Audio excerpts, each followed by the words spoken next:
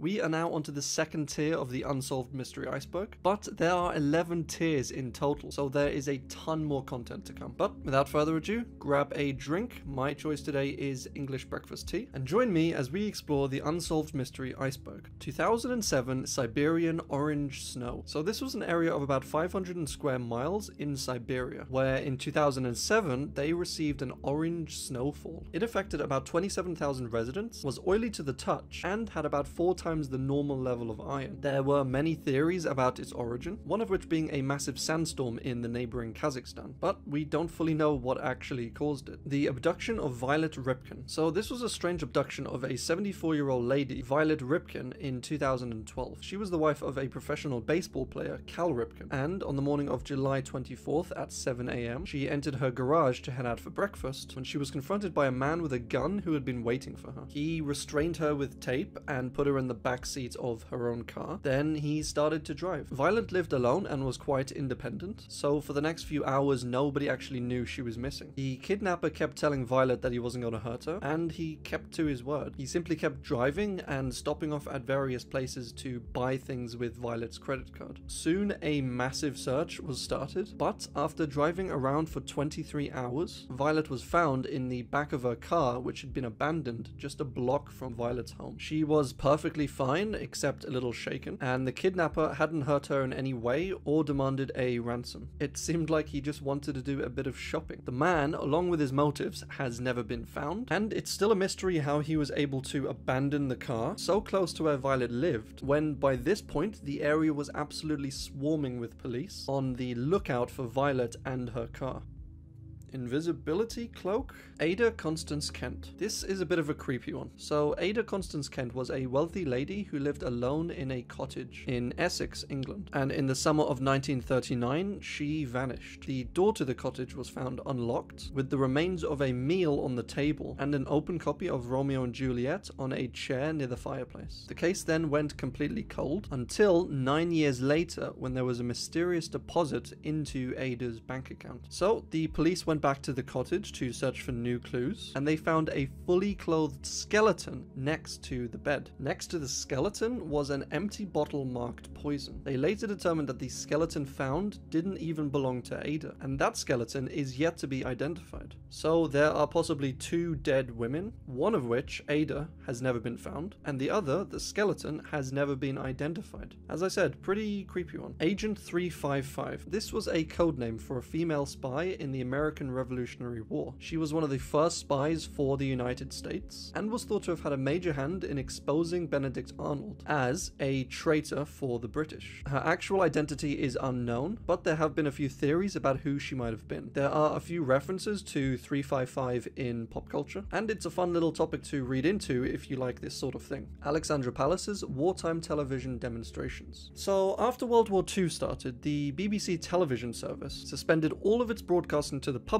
from the Alexandra Palace in London. This was partly so that the German planes couldn't use the signals from the transmissions in order to help navigate around London and England. But over the next six years, two demonstrations would be recorded in Alexandra Palace in secret. Both of them were aired live, but whereas the 1945 one was highly documented, with singers, comedians, actors all participating, the 1943 show has no official record, and only very minor pieces of evidence actually exist. There are photos that show BBC engineers and makeup artists filming in Alexandra Palace in 1943, but there's very little visual evidence of it and no documentation. So, what exactly was being filmed there in 1943 is a complete mystery. The Alphabet Murders. This one is very sad. This was a string of murders of three girls aged 10 to 11 in the 1970s New York. They're called the Alphabet Murders because each girl killed had the same first and last initial, and they were found in a nearby village or town with that same letter. So Carmen Colon was found in Churchville, her two initials and the location all starting with C. Wanda Velkovich was found in Webster, and Michelle Maenza was found in Macedon. Each girl was first abducted, then assaulted, and then strangled to death. These were absolutely horrific crimes, and the fact that people with this level of evil in them actually actually exist out there makes me both sad and angry sometimes. Anjing Ajak. This is a myth of a giant werewolf in Java, Indonesia. It is incredibly clever and deceptive and changes from its human form into its werewolf form in order to kill and eat people. The word Anjing actually means dog in Indonesian, so I guess this is more like a were dog. Doesn't seem so bad when you put it that way. Aisha Degree. This was a really sad case of a nine year old girl who went missing in North Carolina 2000. For unknown reasons, she just packed her bag one morning and left her home. She was soon spotted walking along a highway in extremely heavy wind and rain, but when a motorist stopped and turned around to try and help her, she immediately ran off the road into a wooded area. This was the last anyone ever saw of Aisha. Almost two years later, her bag, which was still fully packed, was found in a construction site nearby. It kind of looks like she was attempting to run away, but nine is normally a really young age to want to do that, and she seemed to have a pretty decent family life. For whatever reason, she seemingly left her home and neighborhood willingly, and was either killed, abducted, or is living her life somewhere out there to this day. The Atlas Vampire. This was the case of a 31 year old prostitute named Lily Lindstrom, who was found dead in her apartment in Atlas, Stockholm. She had been dead for two or three days and was found naked on her bed with her body completely drained of blood. There was a ladle found nearby, and police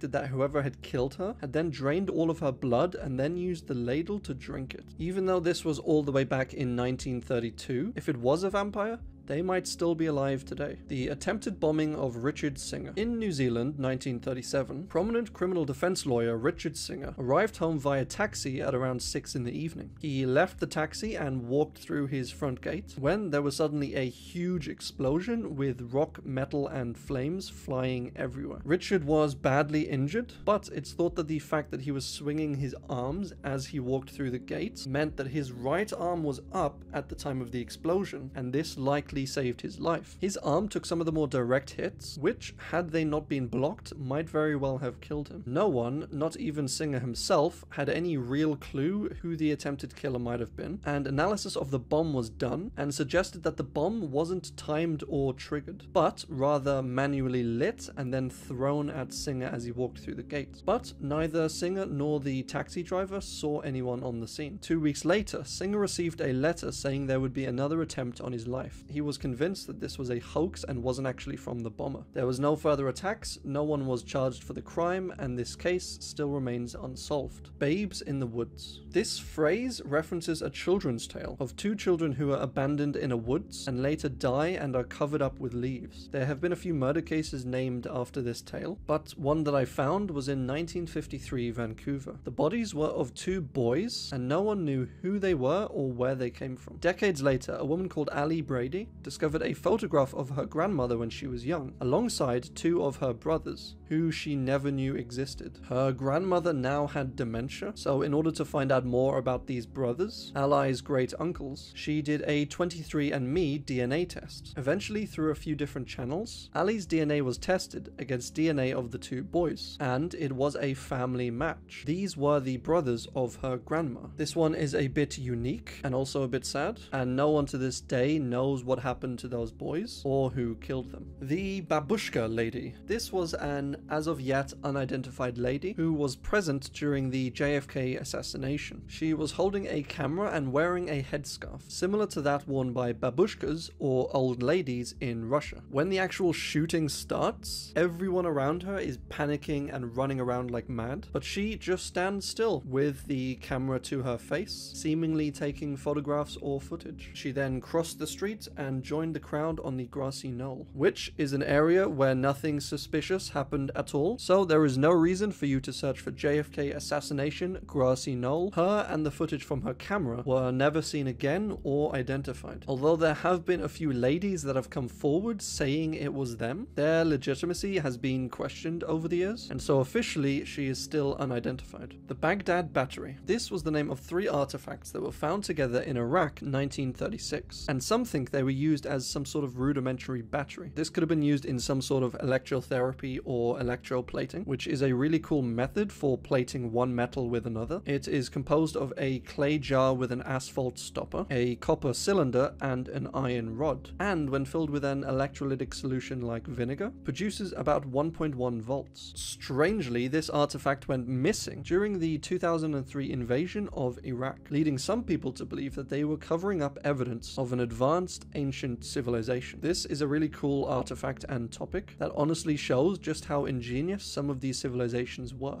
Becca. This was a strange case in New Mexico 1991 involving a motel room. The room was booked by Eduardo Collin, a local truck driver, and two days later, when Eduardo had failed to check out, security went to his room, which was locked from the inside. They eventually made their way inside, and though they didn't find Eduardo, they found multiple bottles of alcohol and a dead woman hanging from the shower. There was a photograph of her with a man on the table, and when motel staff were shown this photo, they identified the man as Eduardo. So obviously, they went in search of Eduardo. But after finally finding him, he wasn't alive either. He had apparently died from natural causes a few years back. When Eduardo's family was shown this photograph, they said the man in the photograph wasn't Eduardo, and they had no idea who this woman was. In 2001, police received a tip saying this woman's name was Becca, but no more information was uncovered. It seems to me like whoever this man was, he was clearly not Eduardo, but had simply used Eduardo's name and details to book the room. But whatever else happened that night and who Becca actually was remains unknown. This is a bit of a long one, so I hope you enjoy this semi deep dive. Belle Gunness. This was a Norwegian American serial killer who killed at least 14 victims in Illinois and Indiana between 1884 and 1908. Her main motive seemed to be money, and the list of insurance payouts this woman had is insane. In 1884, Belle married Mads Sorensen. They owned a candy store together, which later burned down. Then their home burnt down. And, of course, both of these were heavily insured. Then two babies in Belle's home died from inflammation of the large intestine, a possible symptom of poisoning. She never appeared to be pregnant, and neighbors often gossiped about whether these were actually her children or not. But, of course, she had life insurance policies on both of them, and so collected a large sum after their deaths. Then, her husband, Sorensen, had, on July 30th, 1900, two overlapping life insurance policies. One was expiring the next day, and one went into effect on that day. So, of course, he died of a brain hemorrhage that exact day. Belle then collected both insurance payouts and bought a pig farm in Indiana. Two years later, she married Peter Gunness, and a week after that, Peter's infant daughter died of unknown causes while in Belle's care. Eight months after that, Peter died of a skull injury. After, as Belle explained it, he reached for something on a high shelf and a meat grinder fell on him. This is like Looney Tunes. The coroner suspected murder, but it didn't go any further than that. And of course, she collected a large insurance payout. Over the next few years, she basically lured guy after guy to her home on the pig farm through adverts for marriage in local papers. These guys would never be seen again and would sometimes take out large sums of cash just before they went missing. Belle would actually go on to keep stuff of theirs, like expensive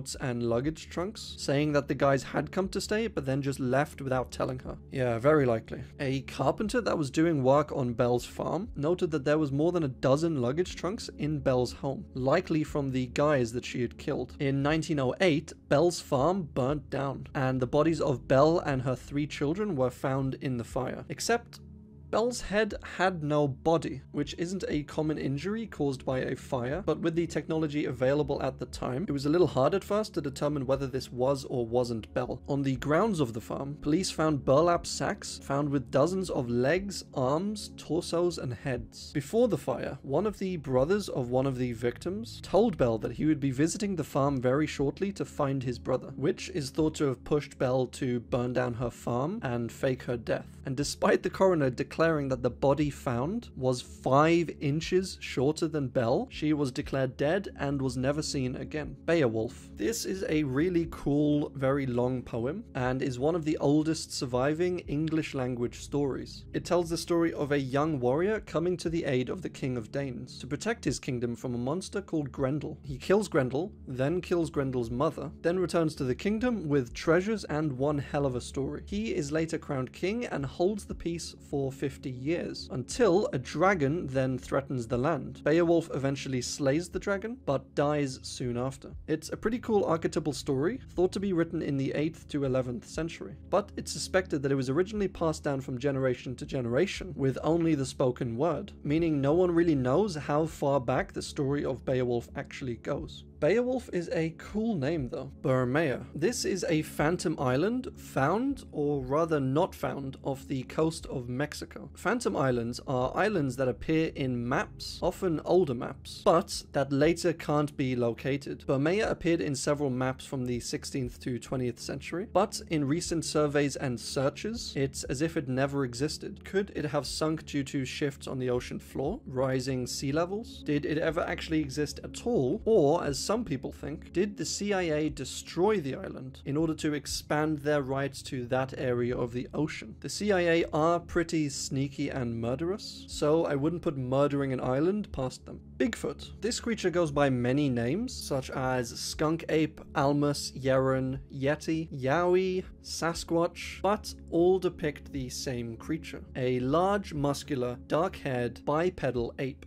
Bipedal. bipedal ape. Picture a gorilla but walking upright. This one has a huge following in some communities, and there are so many theories and debates about whether it's all a hoax, whether it's a result of government DNA splicing, an ancient species that has lived in hiding away from the humans, or one of my favorites, an alien species that seeded life onto Earth. This species later lost its ship, and as humans continued to multiply and evolve, these aliens were forced into seclusion and hiding, eventually devolving slightly due to their environment and lack of technology. This, some people say, is why apes were chosen to receive this intelligence, because we are essentially offsprings or mutations of this Bigfoot species. As you can tell from just this small segment, there are tons of wild theories out there, and it's kind of refreshing going through all the craziest ones and imagining all the different possible scenarios. But I think this one will remain with us for a long time. The brain in a vat. So I won't go into this one as we have done very similar ones like the Boltzmann brain and the simulation hypothesis in previous videos, but think The Matrix. It basically says that you are a brain in a vat and that this entire universe doesn't exist and is all just a result of electrodes stimulating this brain. Uh, it's a pretty creepy one. The Butcher of Mons. This was a serial killer in 1996 and 7 in Mons, Belgium. Police found the dismembered bodies of five women in 12 separate plastic bags found on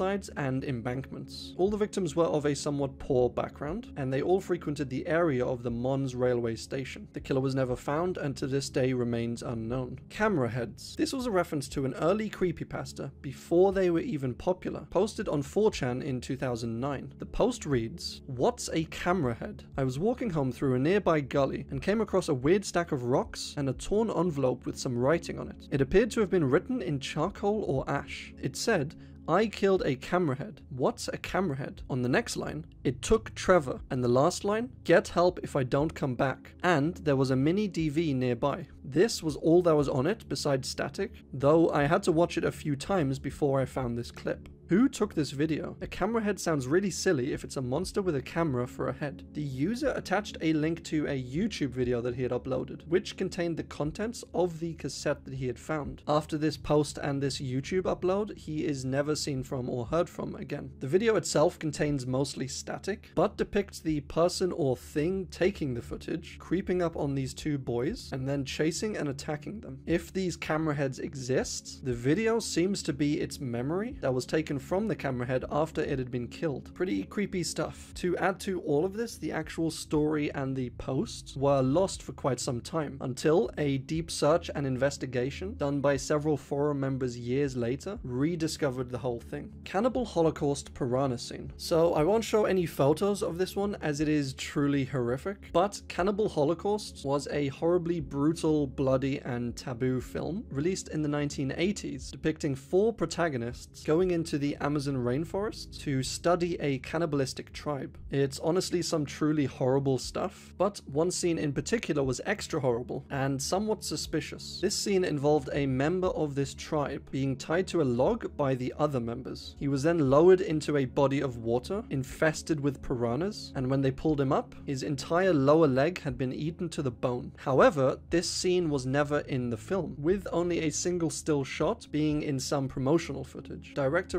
Ruggero Deodato said he didn't film the entire scene, but simply took a single still shot for publicity. But some people have said they were actually there when the scene was being filmed. So, who's lying? On top of this, some people have questions regarding how realistic the scene actually looked, leading some people to believe that the scene was actually real and filmed with a real tribesman really having his leg eaten. But after realizing how real it looked, the director decided to delete all evidence of it and to not include the film in the scene. Celebrity number 6. This was a Reddit post in which the user asked a question about their curtains. It was a set of curtains with illustrations of celebrities over the last 10 to 15 years. Slowly, they were all identified except for one celebrity, simply known as number 6. There were many, many suggestions about who this celebrity might be, but none of them really fit the image perfectly, so this one is still unanswered. Charles Peck's phone calls. This was a strange case where 49 year old Charles Peck was involved in the tragic Chatsworth train crash. He died instantly, but his phone made 35 calls after his death to his son, sister, brother,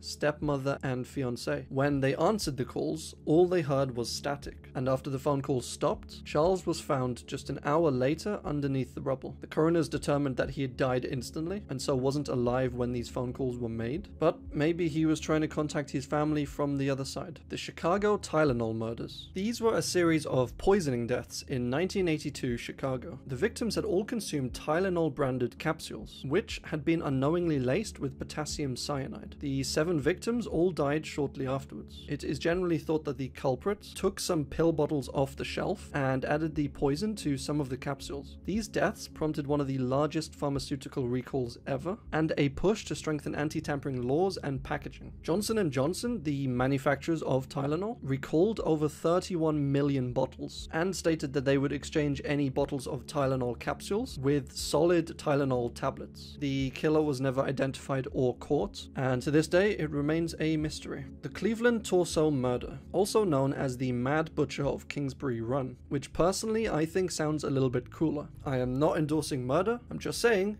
it sounds cool. He was a serial killer active in the 1930s Ohio. He killed at least 13 victims, possibly up to around 20, most of whom were from the area known as Hobo Jungle. This area was known for its gambling, prostitution, and drinking, and all the bodies were disposed of in the neighborhood of Kingsbury Run. All of the victims were beheaded, and most were dismembered in some way, with the males often being castrated. Bodies were often found up to a year after they had been dumped, and as with a lot of these unsolved cases, sadly, the killer was never found. The Connecticut River Valley Killer. This was an unidentified serial killer. Oh, there's a lot of these. Who killed at least seven victims in New Hampshire in the 1980s. The remains of two women were found in 1985 and 6, leading police to investigate other murders and missing peoples in the area. They eventually found two previous cases, one in 1978 and one in 1981, that shared similarities to these killings. The killings were mainly done with a knife, with a few of the victims having their throats slit. There were a few sketches done of potential suspects, but the investigators never really got further than that. The contents of the Library of Alexandria. So, if you like history, this one is fantastic. The Great Library of Alexandria was one of the largest and well stocked libraries in the ancient world. Before the days of the internet, I know, hard to imagine, libraries were immensely important. If you or someone in your local village didn't know a thing, that was it, you had no real way of getting other knowledge, unless you visited a library. Just imagine 2300 years ago, these huge chambers and rooms filled with vast amounts of books and scrolls and chronicles, detailing and documenting everything from ancient stories to historical accounts to medical and engineering notes and techniques. I mean, it's basically like the internet but worse. But for those days, it was incredible. It contained an estimated 400,000 scrolls at its height, and Alexandria soon became known as the capital of knowledge and learning. Many, many great and ancient philosophers, doctors, poets, scholars either moved to or worked in Alexandria simply to have access to all of this knowledge. And despite many people's beliefs that the Library of Alexandria was burnt down in a great fire, it likely just slowly declined, as during the reign of Ptolemy VIII Physcon, intellectuals were purged from Alexandria and never really went back in the numbers that they had before. Julius Caesar accidentally burned part of it during his civil war, but it was likely quickly repaired, and over the period of Roman rule, just slowly continued to decline in popularity and membership. But with all of the contents that were removed, burnt, or stolen, we don't even know half of the stuff that was housed in this library, or what ancient secrets or knowledge it held. Corpse quakes. This is a mental affliction that has been found to affect gravediggers. One story tells of a gravedigger in the 1900s who, one day while on his job, suddenly became quiet and started to shake. The other gravediggers in the cemetery started to make fun of him until they realized that he was serious. They suggested that he should just go home but he insisted on staying and digging the graves. As he was digging, he was shaking constantly. A few days later, these other workers had the corpse quake too, and a week later, they all stopped work entirely. He couldn't do his job as he was constantly affected by this every time he went to dig. And after being home for more than a week, he seemed to be getting his spirits back until his son randomly said the word spade. Just seems like his son hated him, and he suddenly went back to being quiet and shaking. Eventually, the man became sick and died, and the other two men eventually moved away. So they never found out what caused it. Cosmic string. So this is a complex topic to fully explore and understand. But imagine the early universe as water in an ice cube tray. Now imagine when the Big Bang happens that the ice cube tray is immediately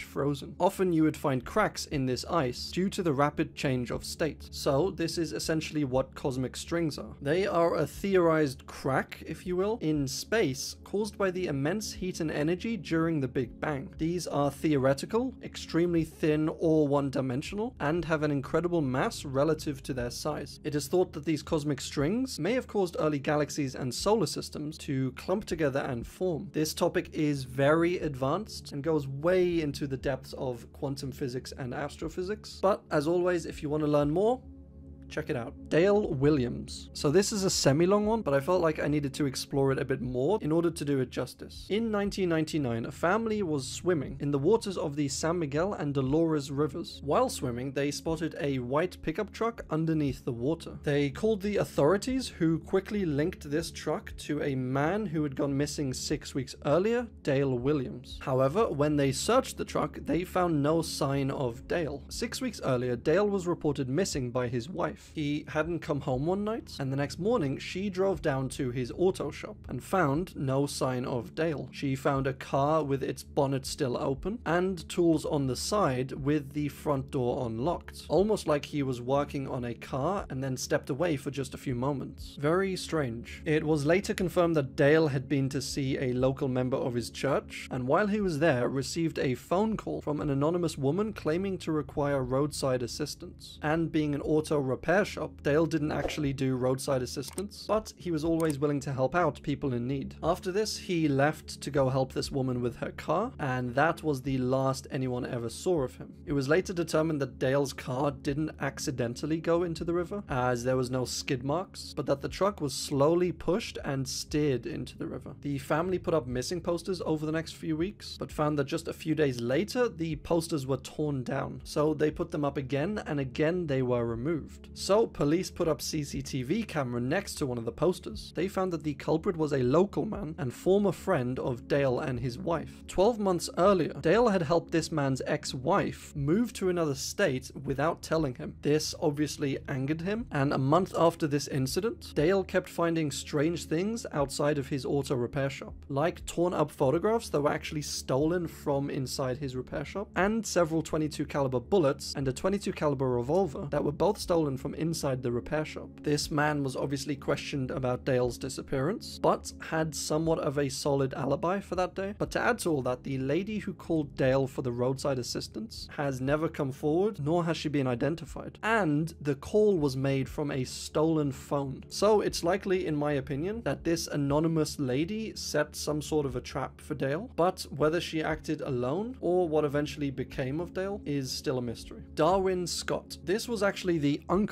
of famous cult leader and murderer Charles Manson. He was found dead, stabbed 19 times, and pinned to the floor with a butcher knife in 1969. His killer is still unknown, and with Darwin Scott having a long rap sheet, being in and out of prison multiple times over the years, it was always hotly debated whether this was the work of his nephew, who was clearly capable of it, or of his criminal lifestyle catching up to him. David Chase. This one is kind of spooky. On October the 15th, 1995, Phil Harris, a private investigator, apparently heard a voice in his sleep. This voice said, I'm David Chase. I was murdered. I want you to investigate my murder. Go buy the Sunday paper. Phil woke up and was in disbelief. David Chase had died four months earlier. He was found having drowned in a nearby river, and Judy, his wife, had always suspected that he was murdered. Phil then met with Judy, and he apparently had knowledge of David and Judy's relationship that was super personal and that no one else knew besides David and Judy. This convinced Judy that David was in fact contacting them from the other side. David had apparently said that he was going off for a swim with a raft in the river. Most of his clothes were seemingly ripped off, and he had suspicious cuts on his legs. His wife was convinced that his clothes were actually cut off to remove some evidence, and that the cuts were from the knife used to cut off the clothes. Phil apparently said that David had been speaking to him on a regular basis and told him of the entire plot. David had met up with a colleague at a bar for a drink. He detailed how he died, how David and this man had got into a fight, how his clothes were removed, the surrounding scenery, and the fact that there was a witness at the scene. This, of course, isn't evidence that would hold up in a court of law, and I call Ghost to the stand. And soon after, Phil died of a heart attack, essentially freezing the case and leaving it up in the air. No one has been arrested for David's death, and we don't know if Phil was just a bit loopy or if David really was contacting him from beyond the grave. David Fortin was a 14 year old boy who went missing in Quebec 2009. Around 9 am on February 10th, David left on foot to the bus stop that would eventually take him to school, but that was the last anyone ever saw of him. His mother suggested he might have run away as he was being bullied in school, but there's no evidence for his running away or his abduction. He seemingly just vanished without a trace. Diane Suzuki. This was a 19 year old student in the University of Hawaii at Manoa. She disappeared on July 6th, 1985. This case was one of the most notorious criminal cases in Hawaii and was the first time the Honolulu Police Department used advanced for the time technologies like luminol. The case eventually went cold and her killer was never found. The Doodler.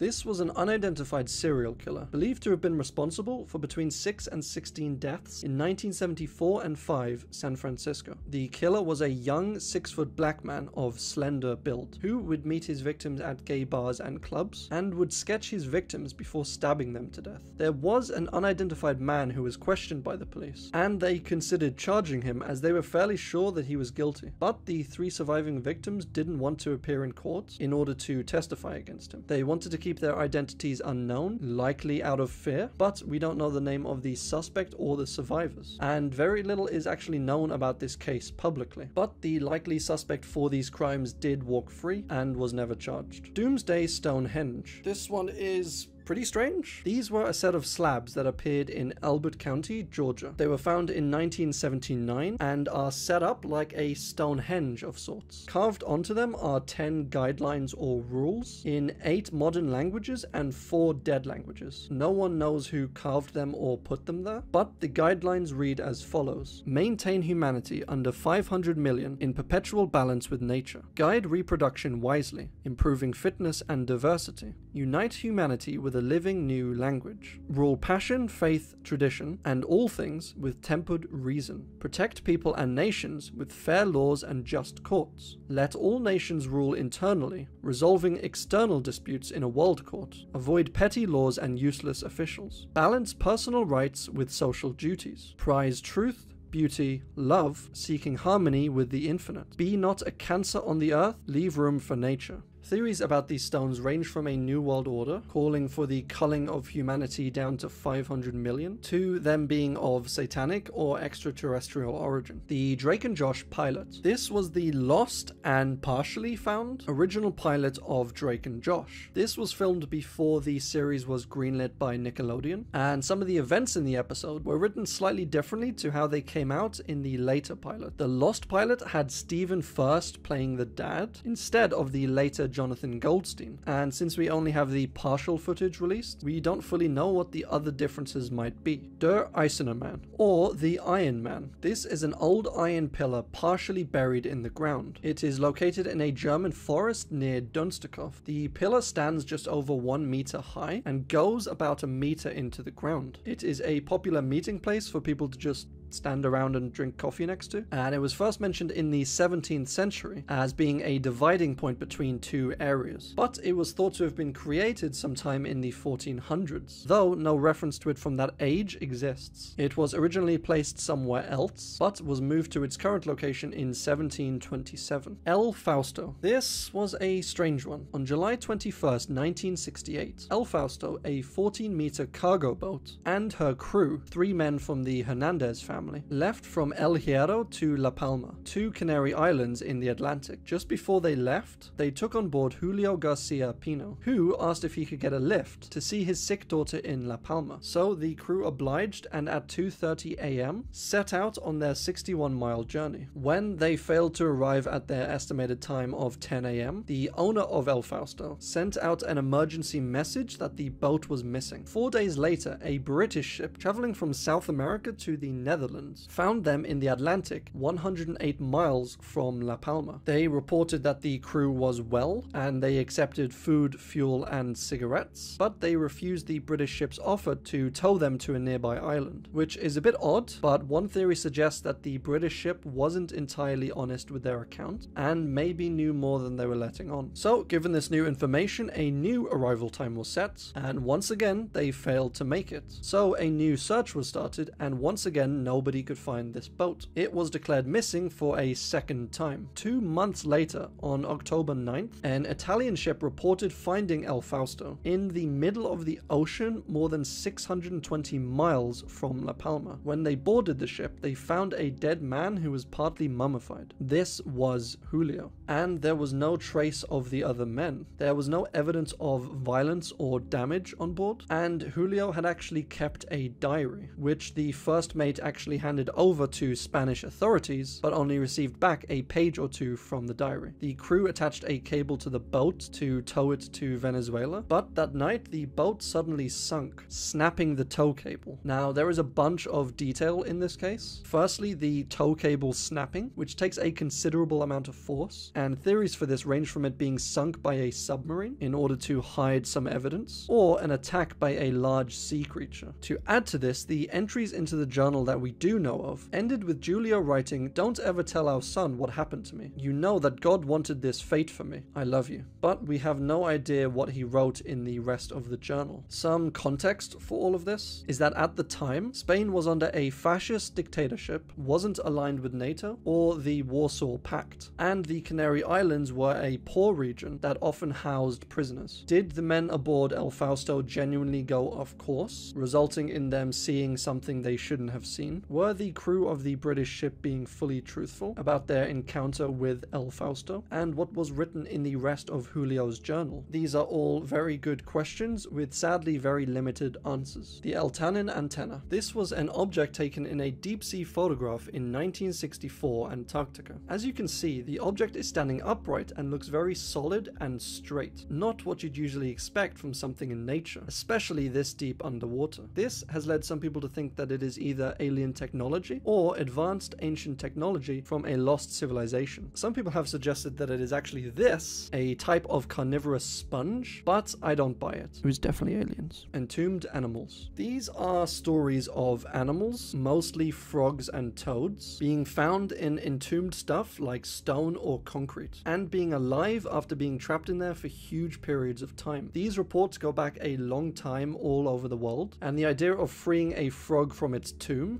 got weaved into some stories and tales. But supposedly, this was debunked in 1820 when an English geologist encased several toads in limestone and buried them in his garden, because that's something that normal people do. A year later, he found that most of them were dead, but some were alive. So, what does he do next? Obviously, he buries them for another year.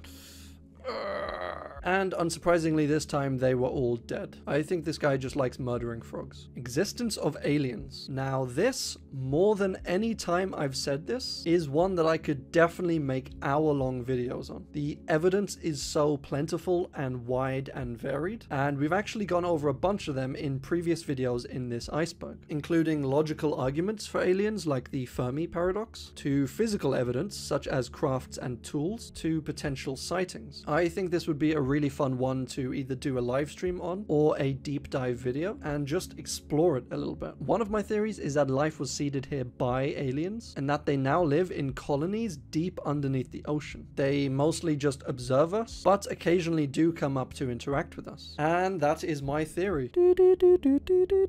And that is all we have time for. The support for these videos has been phenomenal, and I really do appreciate every tiny bit of love and support that you guys have shown. The second part of tier 2 will be coming very soon, so do leave a like if you liked the video, hit the subscribe button and the bell so you don't miss out on any later parts of this bizarre iceberg, and as always guys, thanks for watching.